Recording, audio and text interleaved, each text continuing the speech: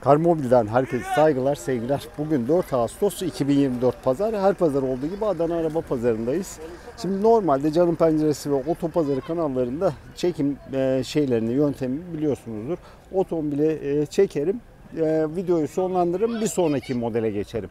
Bu videoda farklı bir konsept deneyeceğim. Şimdi hiç çekimi şey yapmadan, kesmeden böyle seri geze geze biraz muhabbet tadında, biraz pazar tadında e, otomobilleri çekeceğim. Sizce hangi konsept daha iyi?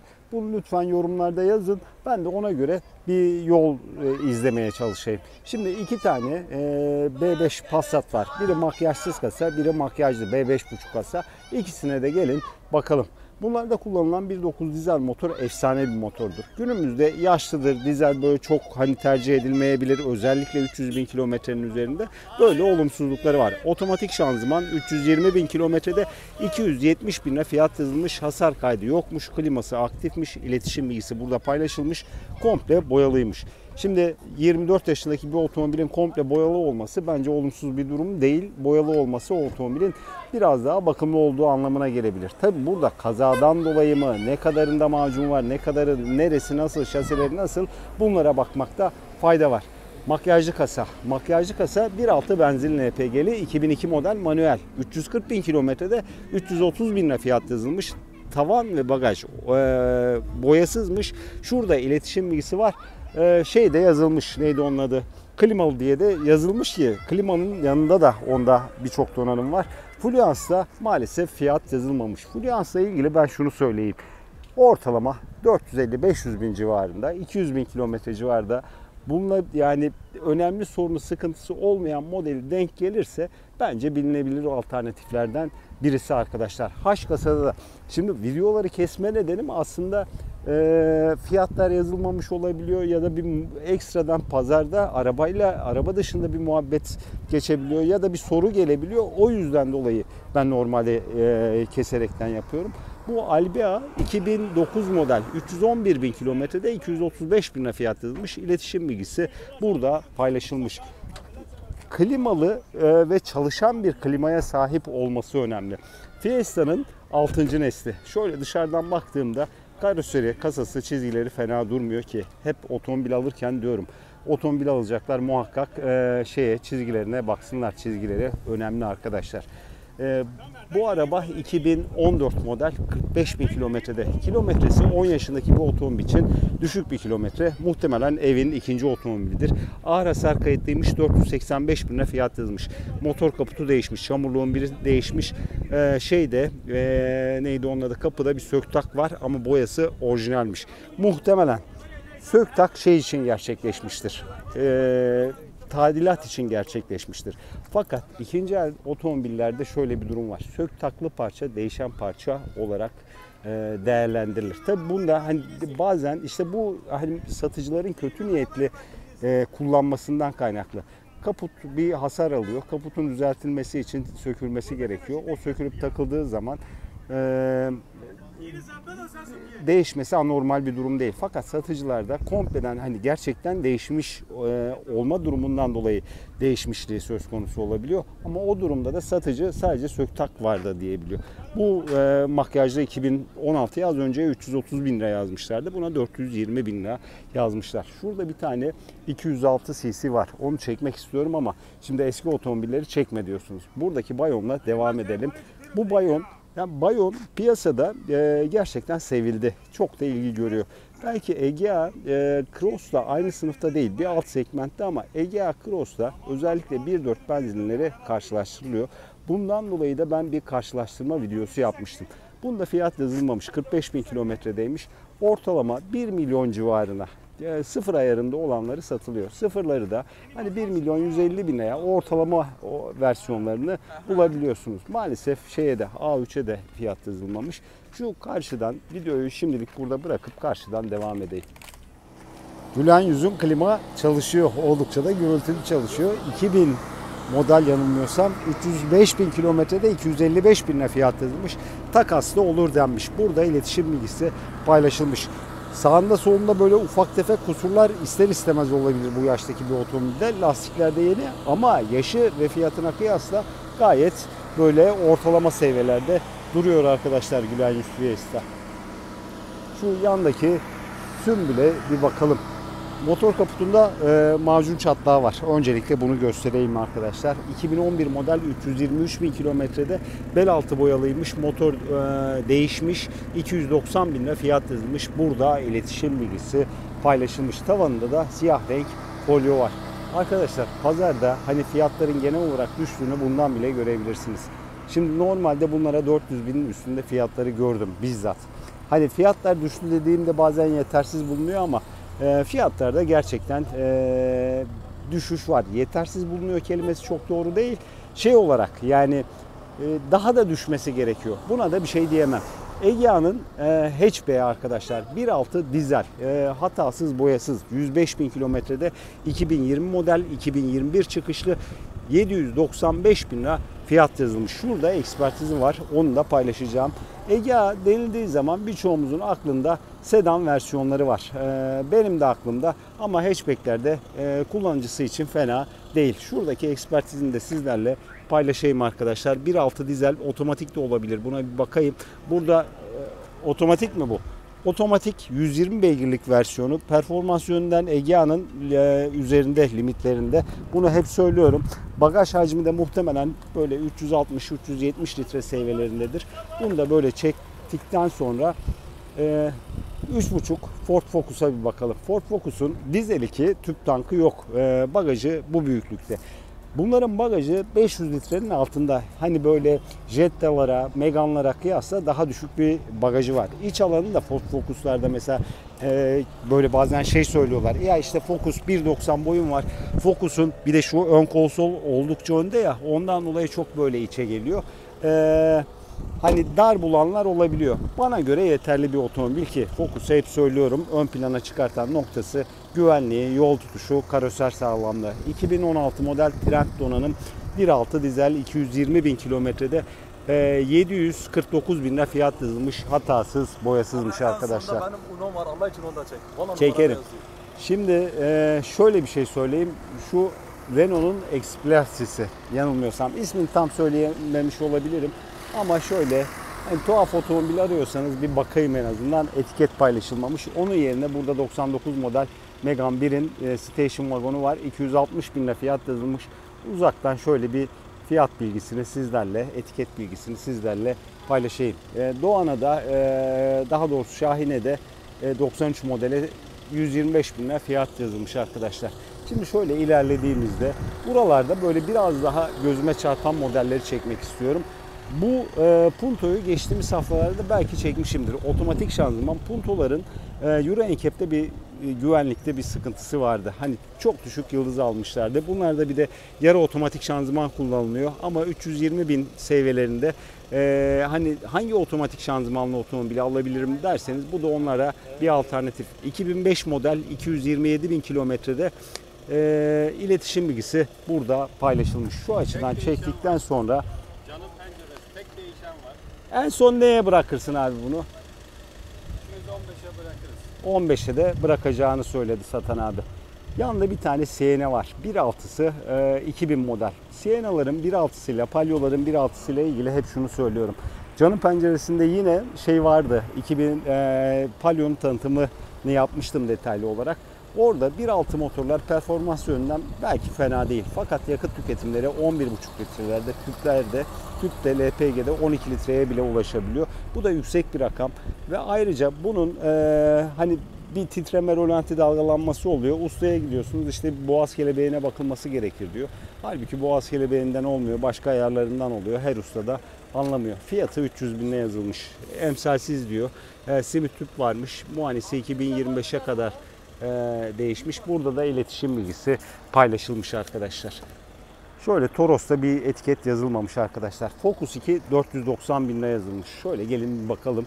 Ee, 1.6 e, hatchback versiyonu 217 bin kilometrede dizeli. Manuel şanzımanlısı. Burada iletişim bilgisi paylaşılmış. Boyası net düzgün duruyor. Güneş yanığı yok. Muhtemelen boyası yapılalı çok olmamıştır arkadaşlar. Uno'yu hep söylüyorum. Uno alırken hani 70'likler biraz daha ön planda e, çıkıyor. Bu da 70'liktir diye tahmin ediyorum. E, 138.750 lira fiyat yazılmış. Yine telefonunu da şöyle bir paylaşayım. Belki ilgilenen olur. Uno'lar hani başlangıçta alınabilecek otomobiller içerisinde e, tercih edilebilir. Buradaki e, şeyin neydi onun adı? E, Clio 2 hatchback'in e, 1.4'ü tavanında folyo var. Önünde de yarım folyo var. Klimalı, kliması çalışıyormuş bunun. 260 bin lira. Bunu satan arkadaş şöyle dediği için biliyorum. E, kanala özel düz hesap 250 bin liraya bırakacağım. Muayenesi lastiği yeni. E, burada da satıcı arkadaşın iletişim bilgisi var arkadaşlar. Dışarıdan da bakıldığında bu şekilde gözüküyor. Bu e, yumurta kasayı satan arkadaş da şey e, aynı arabanın sahibi. Buna da son 190 bin fiyata bırakabileceğini söyledi. Bunun da kliması çalışıyormuş. Yumurta kasalar hatırlıyor musunuz? Bir ara böyle 240-250 bin seviyelerine çıkmıştı. Şimdi böyle 200 bin liraya klimalıları bulunmaya başladı. 1.5'i e, kliması aktifmiş. Burada da iletişim bilgisi paylaşılmış. Tavanında bir macun çatlağı var. Onun dışında e, karoseri şurada da bir tamponunda da bir kusur var ama hani yaşı için ortalama seviyede 200 bin liraya klimalı bir otomobil al- alayım derseniz e, yumurta kasa sizler için bir alternatif. Bunların kronik sorunu göğüs çatlağıdır. Göğüs çatlağı giderilmiş arkadaşlar. İçi de bu şekilde. Ara vermeden çekeceğim dedim ama bazen böyle yürümek gerektirebiliyor ya da arabaya bakmak gerektirebiliyor. O konularda mecburen ara veriyorum arkadaşlar. Şimdi bu Gates'in fiyatı 345 bin lira. 320 bin kilometrede 2008 model. Şurada iletişim bilgisi paylaşılmış. Bir sağını solunu döneceğim. Ee, çeki demir kapağı yok. Çeki demir kapağı ile ilgili benim mesela hep bir şeyim vardır. Bir, bu tabii şey bir, psikolojik bir şey, algı daha doğrusu. Sanki tamirat görmüş de doğru tamir edilmemiş gibi bir hissiyat uyandırır. Ee, öyledir diye söylemiyorum. Arabanın genel olarak çizgileri çok kötü değil. Ee, sürücü kapısında bir ton farkı var. Onun dışında detay bakılması lazım. Üzerindeki lastikler yeni. Benzinlisi yanılmıyorsam. Bunların benzinlerinde bana, bana göre 1.4'ler daha makbul. Performans açısından biraz iyi. GS'de çok performans gerekli mi diye soracak olursanız açıkçası çok performans e, bence GS için gerekmiyor. Çünkü güvenlik yönden böyle işte fren e, manevra kabiliyeti, böyle ani sürüşte, yol tutuşta bazı kusurları olabiliyor. D kasa Opel Corsa Mersin plakalı. Güneş yanıkları bunlar da çok yaygın bir şekilde oluyor. Muhtemelen tavanında da olmuştur çünkü şu kısımlarında var e, kapı üstlerinde var. Buradan belki videodan göremeyebilirsiniz ama şuradan göstereyim arkadaşlar. Bunlarda da benim tavsiyem Corsa'ların hepsinde piyasada genellikle şey e, 1.4'ler daha iyi diye bilinir ama ben 1.2'leri tercih ederim. Manuel şanzımanlı olan versiyonu. Araba 2010 model. Şu uzaktan çektikten sonra panjuru hoşuma gitmedi. E, tamponda bir şey gerektiriyor. Şurada bir tamirat gerektiriyor. Kalın bir macun kullanılmış. 1.4 benzinlisi 395 bin fiyat yazılmış. 180 bin kilometrede iletişim bilgisi burada paylaşılmış arkadaşlar. Yanında bir tane Uno var. Uno'nun e, fiyatı 155 bin lira. 96 model camında çatlak var. Şimdi Cruise'a bakalım. Cruise'u az önce aslında detaylı olarak anlatmıştım. Cruise hani oturaklı böyle e, kasalı bir araba. Bu anlamda sürüşü de şey keyif veriyor. Çok hızlı, çok performanslı değil. E, Chevrolet'in hani pazar algısından dolayı biraz da swap eritme sorunlarından dolayı piyasada böyle biraz şeylerle bakılıyor. E, tereddütle bakılıyor. Hani hem piyasa otomobili değil hem işte swap eritme sorunu var. Çelik swap taktırmak gerekiyor. Piyasadakilerin çoğunda çelik swap oluyor. Bunu söyleyeyim. 470 bin lira fiyat yazılmış. Pazar videosu başlangıç bölümlerinde 600 bine yazılan çok temiz otomatik şanzımanlı 2012 idi. Bu da 270 bin kilometrede 470 bin lira fiyat yazılmış. İletişim bilgisi burada paylaşılmış. Siyah renk bakımlı olması gereken bir renk arkadaşlar. Dacia'nın pick-up'ı. Hani çok anladığım şeyler değil ama bunda en azından 310 bin liralık fiyat yazılmış. Clio 2'ye bir bakalım. Clio 2'ye baktığımız zaman rengi güzel duruyor. Sanki boyası biraz macunlu gibi duruyor. Buna aletle bakmak lazım. Ee, 99 model 250 bin kilometrede e, ve 275 bin lira fiyat yazılmış. RT donanım 1.6'lar RT oluyordu diye aklımda kalmış. 1.6'ların yakıt tüketimi biraz yüksek. 1.4 Megane şeylerde, e, Clio 2'lerde en bence mantıklı motor Megane'larda da kullanılmış olan 1.4'lerinde kullanılan e, 97 beygirlik motor arkadaşlar. Onun yanında bir tane Ee, Clio'nun 4'ü var. Clio 4 de benim özellikle hani bu bütçelerde yaklaşık olarak işte ortalama manuel şanzımanları 450 binden başlıyor. Gençleştikçe e, fiyatları yükseliyor. 700-800 bine kadar sıfır ayarında olanlarına çıkıyor. Sıfırları da zaten 1 milyon lira seviyelerinde ya da işte biraz daha altına satılıyor. Makyajlı kasaları ya da 5. nesilleri. Bu otomatik şanzımanlısı 2016 model 190 bin kilometrede 655 bin lira fiyat yazılmış. Burada iletişim bilgisi paylaşılmış arkadaşlar.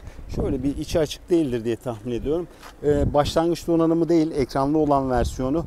Arkadan da bakıldığında bu şekilde. Boyası değişeni olabilir ama araba böyle dışarıdan hiçbir şekilde sırıtmıyor arkadaşlar.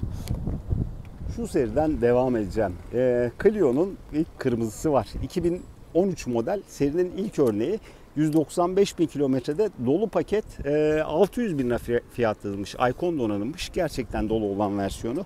Lastikleri falan iyi durumda. Mesela bunlarda yapılan en büyük eleştiri dolu bir otomobil alıyorsunuz. Arkada e, kampana fren kullanılmış. Arka camları otomatik değil gibi eleştiriler, haklı eleştiriler olabiliyor. E160 kasa geçtiğimiz haftada vardı. Bunun fiyatı 850-870 bin lira seviyelerinde diye aklımda kalmış. Çizgileri gayet net, gayet düzgün duruyor ki araba otomatik şanzıman 2017 model 887 bin lira fiyat yazılmış arkadaşlar. Şöyle eee, bir çekeyim. Corolla'larda aslında fırsat bitti. Fırsat şey zamanıydı. Bu bayi, vizyon donanım otomatikleri 1 milyon liraya sattığı zamanlar ikinci elde de bunlar uygun fiyatlara satıldı ki yani şimdi bayi normal liste fiyatlarını işte 1 milyon 250 bin, 1 milyon 350 bin seviyelerine getirdiği zaman ister istemez ikinci ellerin de fiyatları yükselmeye başladı. Yanında 140 kasası var. Toyota'nın belki en heybetli kasası. Ama bunda 658 bin fiyat yazılmış. 2011 model dizel orijinal olduğu da yazılmış. 191 bin kilometrede. Yandaki Golf'e hemen bir bakalım. Yandaki Golf e, böyle hiç fena durmuyor. Gerçekten yakışıklı. Golf'ü hep beğendiğimi söylerim. Lastikleri çok yeni. Çizgilerinde bir kusur göremedim. 2016 model 174 bin kilometrede 887 bin lira fiyat yazılmış. Bu da e, iletişim bilgisi burada paylaşılmış. Otomatik şanzıman. Donanımına bakmadım. İçi açıktır. içine bakacağım. Şimdi bu Golf'le şu Corolla'ya aynı fiyat yazılmış. Siz hangisini tercih edersiniz? Burada e, elbette ikisi aynı sınıfta ama biri hatchback, biri sedan otomobil e, ailesel farklılıklar olabilir ama Golf'ün hatta şu, iddia edeyim şunu söyleyeyim Polo'nun bile sürüş hissiyatı e, Corolla'nın çok çok üzerinde bana göre. Corolla'yı kötülemek için söylemiyorum. Corolla'nın avantajı biraz daha böyle ikinci elde ön plana çıkıyor. Satarken daha kolay satıyorsunuz. Hoş Golf'lerin de pazarı gayet iyi ya da Polo'ların da pazarı iyi. Sürüş hissiyatı gelişmiş ama başta otomatik şanzıman olmak üzere arıza çıkartma ihtimali yüksek ama arıza çıkartmasa bile yüksek oluyor. Ayrıca hani motorların dayanıklılığı ya da masraf çıkartma ihtimali Corolla'lardan biraz daha fazla olabiliyor. Tabi bu tamamen ihtiyaç meselesi. İkisi de çok başarılı otomobil. Bir de bunların şey hikayesi vardı. İçini şöyle çekeyim. Başlangıç donanımı, başlangıç donanımı olmasına rağmen hani dijital klimadan tutun e, ekrana birçok donanım var. İçi de gayet temiz ve kapı hissiyatını görmüşsünüzdür. Bunlarda şu muhabbet vardı. Şimdi Toyota Corolla 50 milyon adetten fazla satılmış olan bir otomobil dünya genelinde ve te- şeye bakıldığı zaman teknik verilere, sayılara bakıldığı zaman Toyota Corolla dünyanın en çok satan otomobili. Fakat bunun içerisinde Toyota'nın hatchback'i var, station wagonu var. Auris'in hani Toyota Corolla olarak geçen modelleri var. Farklı farklı jenerasyonları var. Muhtemelen e, 11. 12. jenerasyonda Toyota Corolla. Golf daha 8. jenerasyonda ve Golf daha sonradan çıkmış bir otomobil ve Golf sadece e, hatchback karoserde satılmış. Golf Plus'ları falan da var ama Toyota'nın versiyolarında olduğu gibi Golf tek başına 45 milyon satmış. Bana göre e, Corolla'nı Corolla'dan daha fazla satmış. Ama sayılara bakıldığı zaman e, Corolla daha önde arkadaşlar. Sizler bu konuda neler düşünüyorsunuz? Lütfen yoruma yazın. Muhakkak Toyotacılar şey yazacaktır. Ya tartışmasız sayılar ortadayken e, sen ne konuşuyorsun diyebilir. Ya da golfçüler de şey yazacaktır. E, ya da elbette Golf. Toyota 13 nesil çıkartmış. Birbirinden alakasız onlarca modeli e, Corolla çatısı altında satmış ve bu bir satış stratejisi. O yüzden sadece en fazla satan otomobil olarak gözüküyor diye e, yazmış, yazacak olabilirler. Fluence'dan itibaren böyle çekip biraz da videoyu sonlandırayım. Dediğim gibi az kesmeli birçok otomobili bir çatı altında çektiğim video yöntemini nasıl buldunuz? Yönlendirin beni ona göre çekeceğim. 2012 model makyajsız kasa 575 bin lira fiyat yazılmış. Orijinal ve otomatik şanzımanmış. Otomatik şanzıman Fluence ile ilgili hep söylüyorum arkadaşlar. Şanzımana dikkat etmekte fayda var. Çünkü şey neydi onun adı? Ee, sorun çıkartıyor. 50-60 bin lira paranız gidebiliyor. Bunu bir kenarda bulundurun. Ama onun dışında Fluence gerçekten önerebileceğim bir otomobil. Megane'larda bu şanzımanla ilgili sorunu büyük ölçüde e, çözdüler. Şu C3'ü bilerek çekmedim. 500 bin fiyat istemiyor. Pazarda böyle bazen durumlar olabiliyor. Boyasız ayarında düşük kilometreli olunca e, fiyatlar uçuyor tabi. Sizler bu konuda neler düşünüyorsunuz yoruma yazın. Megane'a 158 bin lira yazılmış. E, 1.6'sı fiyatı bana açıkçası uygun geldi. Bu iletişim bilgisi burada. Muayenesi yeniymiş. Klimasızdır. E, 96 model. Megane demişim. Renault 19 Europa'ya. 93'te bunlar Türkiye'de üretilmeye başladı ve ondan sonra daha fazla ilgi gördü.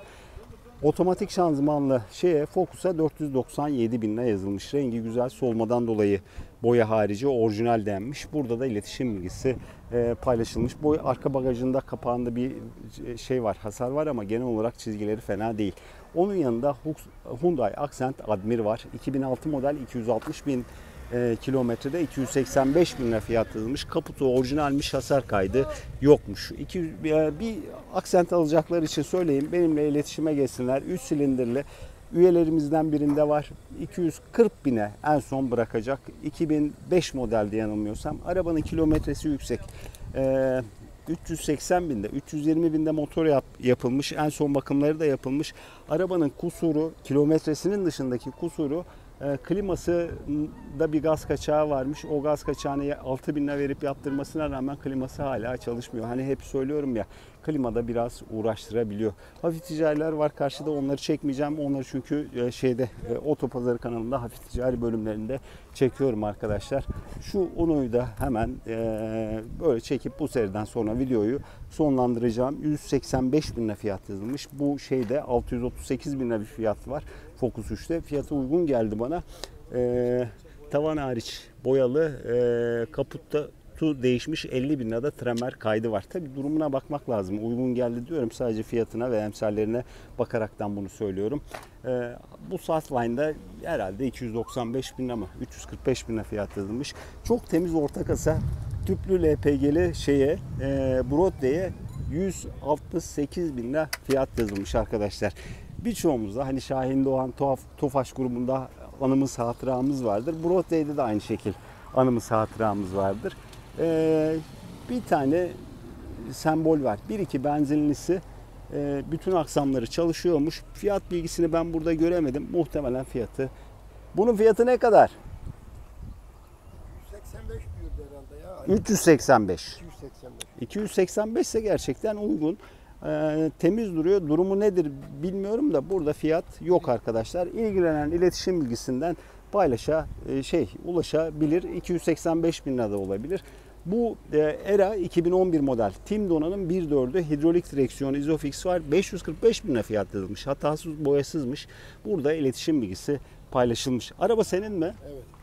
Şimdi ben ne olur bunu kötü niyetle so- sormuyorum. Bu fiyatlara şey de satıyorlar. ERA'da sat, e, Blue da satıyorlar. Alıcı olsan hangisini alırsın? Tabii Blue e, bu kadar boyasız, temiz, hatasız olmayacak. Ama neticede daha genç olacak, daha donanımlı olacak. Sen şahsen hangisini tercih edersin? Blue'yu da alırım. Eray'ı da alırım. Ha. ERA biraz daha. O yüzden bu piyasada bence fiyatı biraz yüksek. Ama inşallah nasibin çıkar. Kolay gelsin abi. Şu bir tane 307 var. 307 arka şeyleri, etiketleri yok. Arka etiketi olmayan otomobillerde arkada kaza yapmış olma ihtimali yüksektir. İlk etapta aklınızda bulunacak noktalardan biri. Önce bir içini çekeyim. İçi bu şekilde arkadaşlar. İçini çektikten sonra şu şeyini de bilgilerini de çekeyim. 350 bin lira fiyat yazılmış 2007 model 1.6 benzin LPG'lisi burada iletişim bilgisi paylaşılmış. Şimdi dizel olduğu zaman 300 bin kilometreden sonra kesinlikle alınmayan otomobiller var. Ama benzinli olduğu zaman nispeten biraz daha 300 bini geçmiş olanlar tercih edilebiliyor arkadaşlar. Şimdi pazardan bu haftalık benden bu kadar. Piyasa yorumu da yapayım isterseniz ama Benim için öncelikli olan şimdi videoyu hiç çekmeden, kesmeden ya daha doğrusu yürümede boş yürürken onları çekip sizin vaktinizi almamak için onları yapmadım ama genel olarak az keserekten videoyu sizlerle paylaşmak istedim. Bu konsepti nasıl buldunuz? Hangisi daha iyi? Şimdi piyasada, pazarda, ilanlarda otomobil fiyatları bir %15, %20 düşüktü zaten. Özellikle ilanlarda. Geçtiğimiz 5 ayın öncesine kadar. Otomobil fiyatları düşmeye devam ediyor. Lütfen şey yazmayın. Otomobil fiyatları nere düşük diye yorum yapmayın. Bunda haklı olabilirsiniz. Otomobil fiyatları hala yüksek seyrediyor. Fakat eski hızını bırakın. Yani İğmelenme, düşüş gerçekten yüksek seyrediyor. Şuradaki Jetta'yı da çekip bu Jetta'ya da dö- e, 445 bin lira fiyat yazılmış. 2009 model muayenesi 0 benzin LPG'li. Bunlarda LPG benzin varsa muhtemelen düz motordur. 102 beygirlik. FSI olanlarında LPG uyumuyla ilgili sıkıntılar yaşanabiliyor çünkü. Şimdi otomobil alacaksanız her zamanki tavsiyem şu. Alabileceğiniz bütçeniz doğrultusunda genç otomobillere yönelin. Hem masraf açısından şimdi bir parça boyayı ortalama yani tanıdık olduğu zaman 5-6 bin liraya boyuyor. Ortalama bir çamurluğun basit boyası, düzeltmesiz boyası örnek veriyorum bunu ya da bir tamirciye gidiyorsunuz bir enjektör ayarı yaptırıyorsunuz bakımı yaptırıyorsunuz ona bile 15 bin lira para gidiyor. Ucuz diye şey otomobil almayın. Döküntü otomobil almayın. Bu size daha pahalıya mal olabilir. Bununla birlikte bütçeniz doğrultusunda maksimum seviyede e, otomobil almanızı tavsiye ederim. Otomobil almanızı tavsiye ederim. Adının sıcağından dolayı telefon maalesef şey uyarısı veriyor. Hani kapanıyor sıcaklıkta çalıştırmayın diye. Pazar burada arkadaşlar. Sizlere de son uyarım dediğim gibi otomobil alma konusunda değil. Otomobil alım sürecine girdiyseniz alabileceğiniz kadar yeni otomobil alın. Bu haftalık benden bu kadar. Herkes saygılar, sevgiler. Haftaya görüşmek üzere. Hoşçakalın.